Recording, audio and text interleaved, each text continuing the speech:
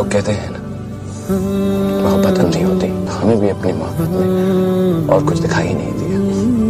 सिर्फ़ एक दूसरे को देखते रहे नहीं देखा कि कहीं किसी का नुकसान तो नहीं हो रहा है, कहीं किसी को दुख तो नहीं पहुँच रहा है, कहीं कहीं किसी की जान तो नहीं जा रही।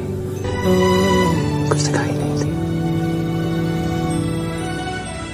पर अब सब साफ़ दिख रहा कोई भी मोहब्बत किसी की जान से ज़्यादा कीमती तो नहीं हो सकती।